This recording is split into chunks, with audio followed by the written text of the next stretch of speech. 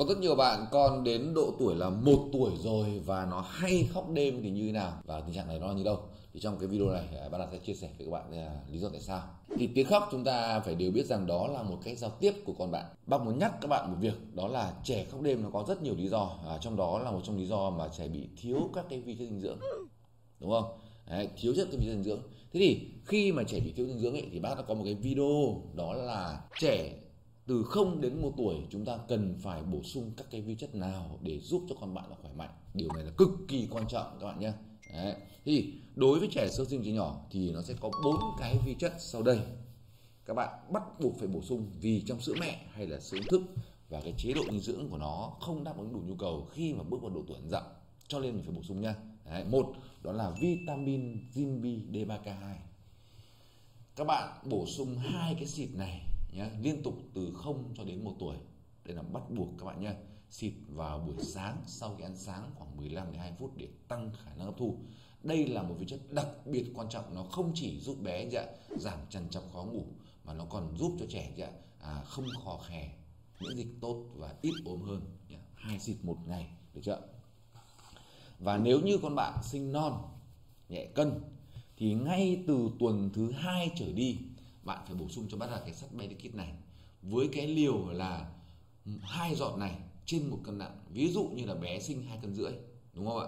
Cái sắt này ấy, cái nguyên liệu bác nhập khẩu từ Hoa Kỳ và đây sắt amin nó liên kết với hai phân tử glycine cho nên nó không bị nóng nóng trong nó không bị táo bón nhé yên tâm là nó không tanh. Đấy. và nếu như con bạn sinh bình thường thì từ 4 tháng trở đi mình phải bổ sung dự phòng sắt cho con bạn đến một tuổi liên tục nhá. Đấy. đến một tuổi thì là một giọt một cân nặng. Ví dụ 4 tháng 6 cân là 6 giọt. 7 cân là 7 giọt 8 cân 8 giọt cứ như vậy đến một tuổi nhá. Đấy là cái hai cái vi chất cực kỳ quan trọng. Và từ 6 tháng trở đi bạn phải bổ sung cho con bạn là canxi và kẽm dự phòng nhé nhớ rằng gì ạ? À, kẽm rất quan trọng tăng đề kháng giúp bé ăn ngon. Thì đối với trẻ từ 6 tháng trở đi bạn dùng một ngày là 1,5 ml cái kẽm Benekit này và dùng trong 45 ngày và sau đó nghỉ một tháng và sau đó mình dùng tiếp và một năm dùng hai đến ba đợt như vậy. Nhớ chưa? Đấy. và tiếp đến đó là canxi dự phòng mỗi một ngày một gói. Canxi clorot calcium canxi hữu cơ nhớ nhá. Hữu cơ hấp thụ được mới không bị táo bón mới không bị hại thận. Được chưa? Đấy, và bổ sung một ngày một gói trong 45 ngày. Uống sau ăn à, trưa khoảng một tiếng một tiếng rưỡi để tăng khả năng hấp thụ.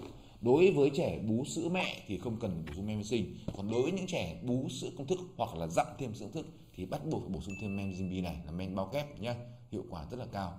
Đấy, và rất nhiều bà mẹ đã gì ạ dùng men này của con là tiêu hóa khỏe và ăn ngon. Hãy nhớ rằng hệ tiêu hóa là gốc đúng không ạ? Và khi bụng nó khỏe ăn ngon ị đẹp và sẽ mau lớn nhá. Đấy là cái đầu tiên là thứ chất.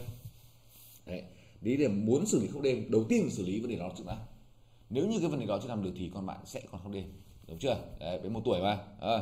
thứ hai là tâm sinh lý. À, cái việc mà bé nó chơi các cái trò như là hù dọa đùa giỡn quá mức đúng không ạ? Rồi đến khi đi ngủ trước khi đi ngủ rồi chúng ta vẫn cho đùa. Trước khi đi ngủ một tiếng là không chơi gì hết. Lên giường đọc truyện nghe nhạc để thư giãn hát du cho bé thư giãn nhé đấy để tránh cái tình trạng là bé căng thẳng quá mức vào buổi tối. Được chưa trước khi đi ngủ mình có thể cho bé uống một cốc sữa ấm khoảng từ 150 200 ml trước khi đi ngủ một tiếng để trẻ nó nó tốt hơn, phải không ạ? Do trẻ một tuổi thì ăn rất tốt rồi, ăn cơm rồi, đúng không? Ăn cơm nát, ăn tất cả mọi thứ rồi. Đấy, rồi, về các vấn đề bệnh lý, ví dụ bạn xem là con bạn có bị rối tiêu hóa hay không, có bị sôi bụng hay không, đúng không? Rồi có bị nhiễm khuẩn đường tiêu hóa hay không, có bị lồng ruột hay là không, có bị sốt hay không, có bị chân tay miệng có đau họng, có loét họng hay là không, đúng không? Thì cái việc đó cũng khiến đứa trẻ khó chịu và nó sẽ mệt mỏi, không ngủ thì đó là cách xử lý nhá. đấy. thì để hạn chế đấy, các bạn phải quan sát xem nào gì ạ. À tạo môi trường thoải mái. Cái nhiệt độ nhiệt độ điều hòa ấy mình đừng có để 28 chín độ ở nóng quá. Mặc quần áo thoải mái các bạn nhé mặc quần áo thoải mái được chưa? Đầu tiên là mặc quần áo thoải mái đã. Ăn nhẹ trước khi đi ngủ đúng không ạ?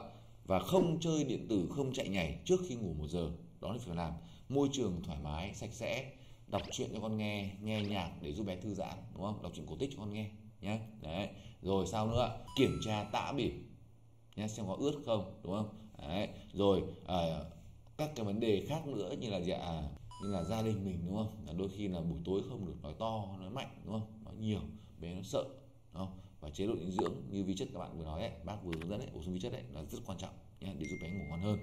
Và trên một tuổi các bạn nhé chúng ta từ một tuổi cho đến 6 tuổi bạn dùng 3 xịt cái D3 KGB một ngày để giúp các bạn ngủ ngon hơn, được chưa? Và trên một tuổi thì bạn vẫn sẽ bổ sung cái canxi, cái kẽm. Theo đợt, mỗi đợt là gì ạ? À là 45 ngày, sau đó mình nghỉ, sau đó mình ngủ tiếp. Còn sắt sau một tuổi mình vẫn bổ sung dự phòng, các bạn nhé. Mỗi một năm bổ sung một đợt thôi, và một đợt đấy là 30 ngày, và mỗi một ngày là 10 giọt này. Đấy, ổn sắt và các bạn nhớ này, mua ngay cuốn sách này nhé để chăm con khỏe mạnh, đúng không ạ? Trong cuốn sách này, bác trình bày các ngôn ngữ rất là dễ hiểu, mặc dù đây là kiến thức chuyên môn chăm con. Và bất kỳ một bà mẹ nào đọc sẽ áp dụng được ngay vào việc vì cuốn sách này. Nó đã giúp cho hàng trăm ngàn bà mẹ nuôi con nhàn tinh còn tăng cân tốt, không lạm dụng kháng sinh và tiết kiệm được rất nhiều tiền bạc. Các bạn mua sai thuốc, một đơn thuốc thôi, đã là 500 một triệu rồi. Mà cuốn sách này có 265 nghìn. Chỉ đủ tiền bác gì ạ, ship cho các bạn và in sách thôi và đây là gì ạ à, món quà là vũ khí bí mật mà bác đạt muốn các bạn sở hữu để nuôi con khỏe mạnh hơn. Rồi chào bạn và chúc các bạn nuôi con khỏe mạnh nhé.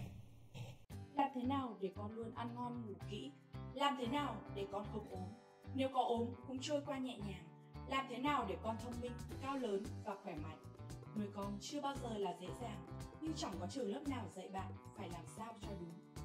Với 15 năm kinh nghiệm trong nghề dược sĩ Trương Minh Đạt đã đồng hành cùng hàng trăm nghìn mẹ bỉm giúp tránh khỏi các sai lầm khi nuôi con nhỏ để cho các con luôn khỏe mạnh, thông minh và phát triển toàn diện.